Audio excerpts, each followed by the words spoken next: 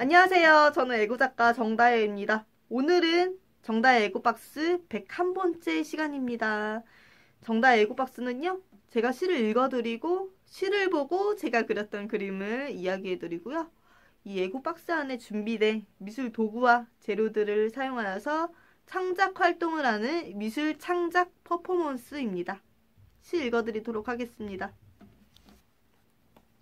제목은 시간이 멈추다입니다. 하늘에서 빛이 내려오다. 그 빛을 받고 풀이 일어서다. 온통 초록빛으로 눈이 부시다. 꽃이 가로등처럼 환하게 웃다. 안개가 어깨를 뽀얗게 누르다. 이슬이 땀방울처럼 송송 맺히다. 하늘에서 가랑비가 쏟아지다. 꿀벌들이 비를 피해 꽃잎 속에 숨다. 새들이 저마다 집으로 돌아가다. 어디선가 잔잔한 바람이 불어오다. 한 폭의 그림처럼 시간이 멈추다입니다. 그림은 이렇게 표현이 되었습니다. 에고가 이렇게 여러 시간 속에 멈춘 듯한 형상을 가지고 있는 모습입니다. 오늘은 에고가 어떤 족지를 가져왔을지 한번 보겠습니다.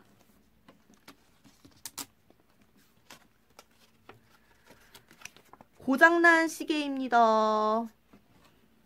고장난 시계를 만들려고 하네요. 에고박스를 한번 열어보도록 하겠습니다. 테이프랑요. 그리고 이렇게 털로 감긴 철사입니다. 이건. 그리고 손뭉치입니다. 가위랑요.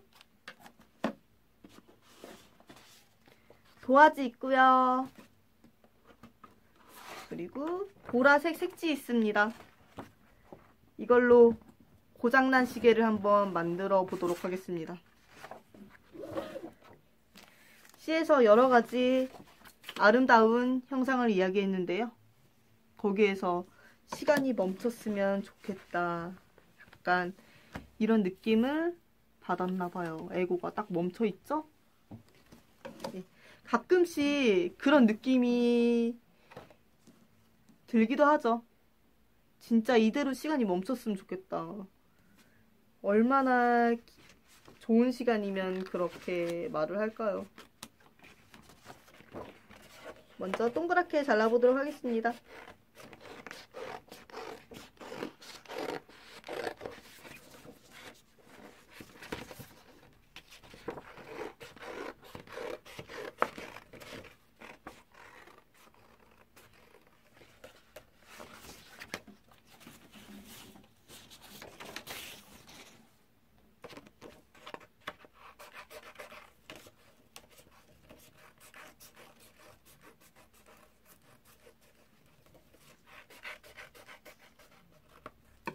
이렇게 동그랗게 잘랐고요.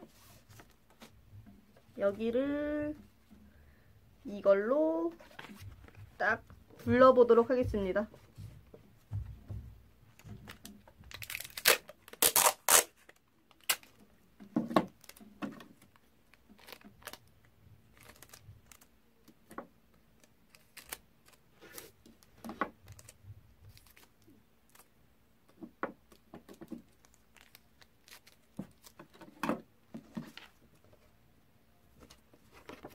이렇게 해서 시계의 모양을 둘러보도록 하겠습니다.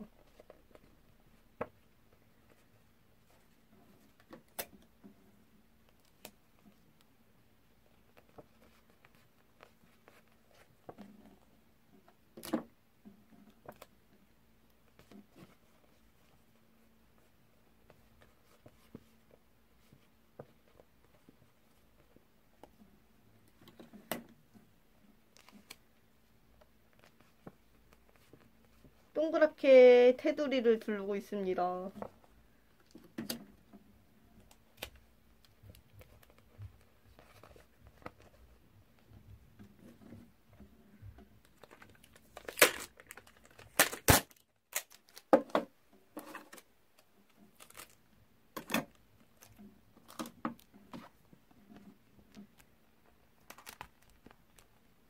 이렇게 동그랗게 되었고요. 시계를 표현하려면 이 손뭉치를 가지고 일단 이렇게 놔보도록 하겠습니다.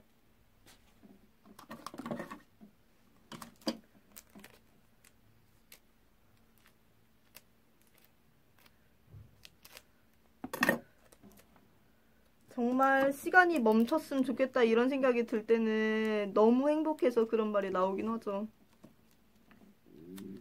하지만 그럴 수가 시간은 계속 가, 가기 때문에 고장난 시계를 만들어 보고 있습니다. 이렇게 딱 만들, 만들었고요. 여기에다가 초침을 붙여보도록 할게요.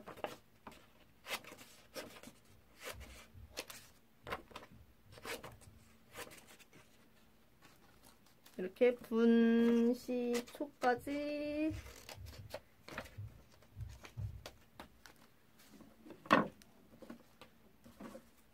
해서 어 저는 야행성이라서요. 아, 야행성 이게 시가, 시간이 저는 새벽 12시니까 야 언제가 시간이 괜찮냐면요. 아 전 딱 12시가 좋은 것 같아요. 밤 12시가 좋은 것 같아요. 12시에 딱 멈추는 듯하게 붙이고 침도 붙이고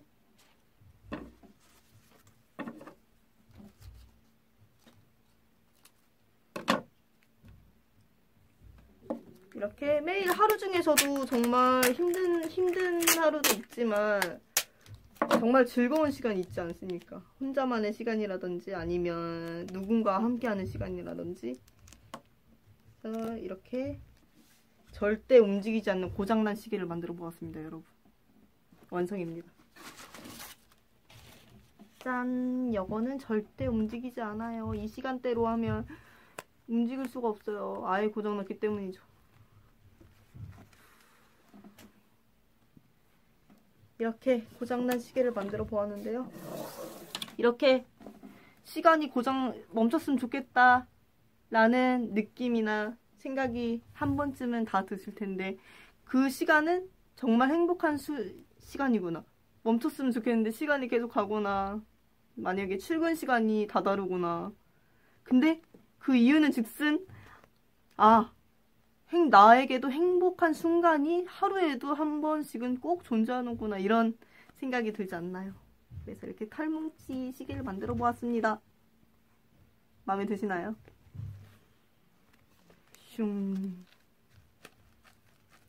고장나서 이렇게 해도 끄떡없어요. 지금까지 애고작가 정다혜였습니다. 여러분도 이렇게 시간이 멈췄으면 좋겠다라는 그 순간이 가장 행복한 순간이라는 거 잊지 마십시오. 다음에 또 봬요.